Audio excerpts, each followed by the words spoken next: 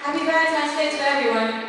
And of course, I would like to say hi and good afternoon to our Secretary Rodolfo Salalima uh, from the Department of Information Communications and Technology. Thank you so much. Sir, hi, good afternoon and happy Valentine's Day to you and your company. Thank you so much. Enjoy the rest.